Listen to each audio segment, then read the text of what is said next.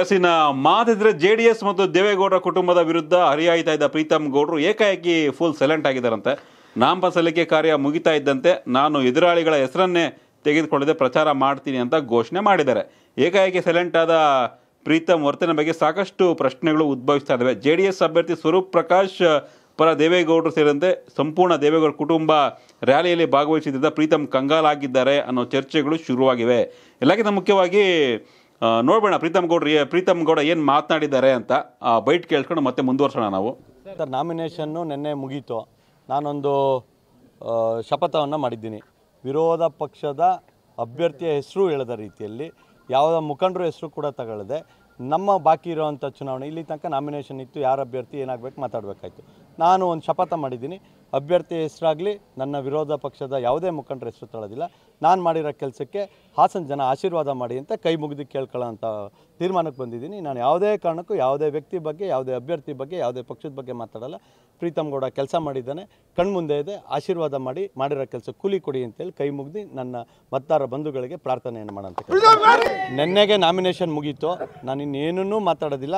ಹಾಸನ ವಿಧಾನಸಭಾ ಕ್ಷೇತ್ರದ ಅಭ್ಯರ್ಥಿ ನಾನು. ನನಗೆ ಜನ ಮತ ಹಾಕಿ ಮತ್ತೊಮ್ಮೆ ಕೆಲಸ ಮಾಡೋದಕ್ಕೆ ಅವಕಾಶ ಮಾಡಿಕೊಡಿ ಅಂತ ಮಾತ್ರ ಕೇಳ್ತಾರೆ. ಎಸ್ ನೋಡೋದಲ್ಲ ನಾನೊಂದು ಶಬ್ದ ಮಾಡಿದ್ದೀನಿ. ವಿರೋಧ ಪಕ್ಷದ ಅಭ್ಯರ್ಥಿ ಹೆಸರು ಹೇಳದೆ ಆ, ಯಾವುದೇ ರೀತಿ ಅವರ ಹೆಸರು ತಗೊಂಡೆ ಮುಖಂಡರ ಹೆಸರನ್ನು ತೆಗೆದುಕೊಳ್ಳದೆ ನಾನು ಪ್ರಚಾರವನ್ನು ಮಾಡ್ತೀನಿ ಚುನಾವಣೆ ಮಾಡ್ತೀನಿ. ನಾನು ಮಾಡಿರುವ ಕೆಲಸಕ್ಕೆ ಆಶೀರ್ವಾದ ಮಾಡಿ ಮಾಡಿರುವ ಕೆಲಸಕ್ಕೆ ಕೂಲಿ ಕೊಡಿ ಅಂತ ಪ್ರೀತಮ್ ಒತ್ತಾಯ ಜನರಲ್ಲಿ ಮನವಿ ಮಾಡ್ಕೊಂಡಿದ್ದಾರೆ. ಸೊ ಇದೊಂದು ರೀತಿಯ ಸೈಲೆಂಟ್ ಸ್ಟ್ರಾಟಜಿ ಅಂತ ಹೇಳಿ ಚೆನ್ನಾಗಿದೆ. ಹ್ಮ್. ಇಡೀ ದೇವೇಗೌಡ ರೇವಣ್ಣ ಇಷ್ಟು ವರ್ಷದ ರಾಜಕಾರಣದಲ್ಲಿ ಏಳಿಕೆರೆ ನೀರನ್ನ ಕುಡಿದಿರ್ಬೋದೇನೋ ಅನುಭವದಲ್ಲಿ. ಪ್ರೀತಮ್ ಗೌಡ ಒಂದೇ ಐದೇ ವರ್ಷದಲ್ಲಿ ಒಂದೇ ಟರ್ಮ್ ಅಲ್ಲಿ ರೇವಣ್ಣ ಅವರ ಆ ಎಲ್ಲಾ ಎಕ್ಸ್ಪೀರಿಯನ್ಸ್ ಮಾಡ್ಕೊಂಡವ್ರೆ. ಪ್ರೀತಮ್ ಸಾಮಾನ್ಯ ಮನುಷ್ಯ ಅಲ್ಲ. ಬಹಳ ಚಾಲಾಕಿ ಬಹಳ ಚಾಣಾಕ್ಯ ಬಹಳ ಎಕ್ಸ್ಪರ್ಟು ಆಮೇಲೆ ಇದಕ್ಕೂ ನೀವು ಹೇಳಿದ್ರೆ ಒಂದು ಒಂದಿದೆಯಲ್ಲ. ಸ್ಟ್ರಾಟಜಿನ. ಸ್ಟ್ರಾಟಜಿನೇ ಇಷ್ಟು ದಿನ ಇಷ್ಟು ದಿನ ಮಾತಾಡಿದ್ದು? ಮಾತಾಡಿದ್ರೆ ಹೋಗ್ಬಿಡುತ್ತಾ? ಮಾತು ಮನೆ ಕೆಡಿಸ್ತು. ಕಮಾನ್ ಕಮಾನ್ ರಾಮಣ್ಣ ಐವತ್ ಸಾವಿರ ರೇವಣ್ಣ. ಅದು ರೇವಣ್ಣ ಬಂದಿರ ಆಗದು ಒಂದು ಗೊತ್ತಿ ನಿಮ್ಗೆ ಗೊತ್ತಿರ್ಲಿ.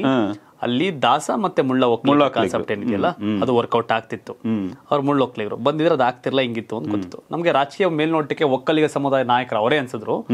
ಆದ್ರೆ ಹಾಸನ ಜಿಲ್ಲೆಗೆ ಹೋದಾಗ ಹಾಸನ ಕ್ಷೇತ್ರಕ್ಕೆ ಹೋದಾಗ ದಾಸ ಮುಳ್ಳ ಅದಿದೆ. ಇದೆ ಹೌದು. ಯಾಕೆಂದ್ರೆ ದಾಸ ಒಕ್ಕಲಿಗರನ್ನ ತುಳಿದವ್ರ ದೇವೇಗೌಡರು ಫ್ಯಾಮಿಲಿ ಅವರು. ಅನ್ನೋ ಆರೋಪ. ದಾಸ ಒಕ್ಕಲಿಗರಿಗೆ ಅವಕಾಶ ಮಾಡಿಲ್ಲ.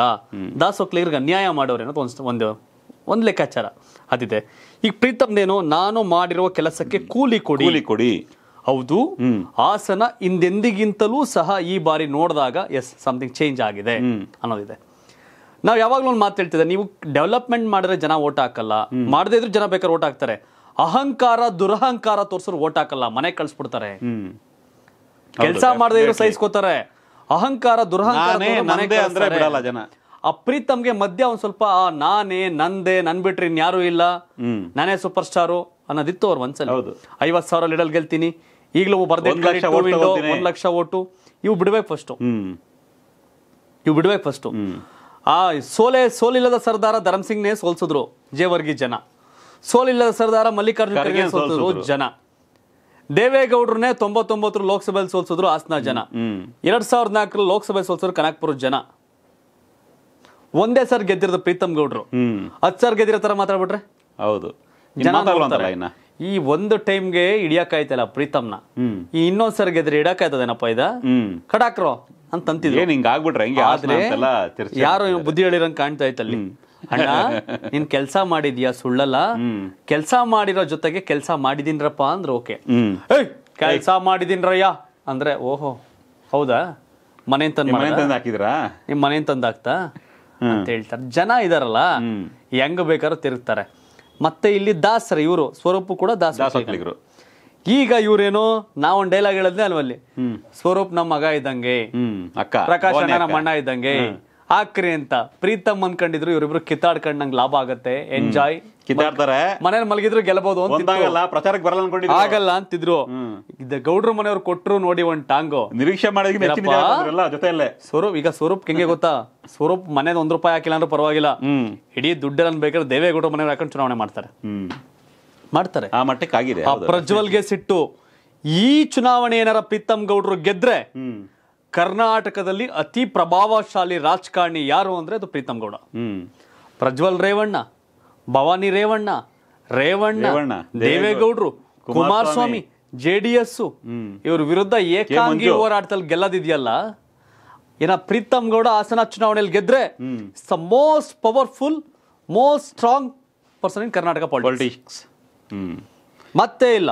ಎಸ್ ನೋಡೋಣ. ಹಾಸನ ಜನ ಗೆದ್ರೆ? ಗೆದ್ರೆ. ಗೆದ್ರೆ ನಾನು ಗೆದ್ರೆ ಅಂತ ಅವನಿ ಅವ್ರ ಅಲ್ಲೇ ಬರ್ದಿಟ್ಕಳೆ ಒಂದ್ ಲಕ್ಷ ಓಟು ಅಂತಾರೆ. ಐವತ್ ಸಾವಿರ ಓಟ್ ಲೀಡ್ ಲೀಡು ಅಂತಾರೆ. ನನ್ ಬಹಳ ಆಶ್ಚರ್ಯ. ನೋಡೋಣ. ನಾನು ಅವತ್ತಿನ ನ್ಯೂಸ್ ಓದೋ ಬಿಟ್ಬಿಟ್ಟು ಬರೀ ರಿಸಲ್ಟ್ ನೇ ಕೇಳ್ಕೊಂಡ್ ಕೂತಿರ್ತೀನಿ. ಆಸ್ನ ಏನಾಯ್ತಪ್ಪ ಪ್ರಕಾಶ್? ಏನಾಯ್ತಪ್ಪ ದುಷ್ಯಂತ್? ಹ್ಮ್. ಹಾ? ಏನಾಯ್ತಪ್ಪ ನಾಗರಾಜು? ಎಲ್ರಿಗೂ ಹಿಂಗ್ ಕೇಳಂಗ ಆಗ್ಬಿಡುದು ನನ್ ಕತೆ. ಕೇಳೋಣ. ಅಲ್ವಾ? ಕೊಡೋಣ ಎಲ್ಲರಿಗೂ ಅಲ್ವಾ?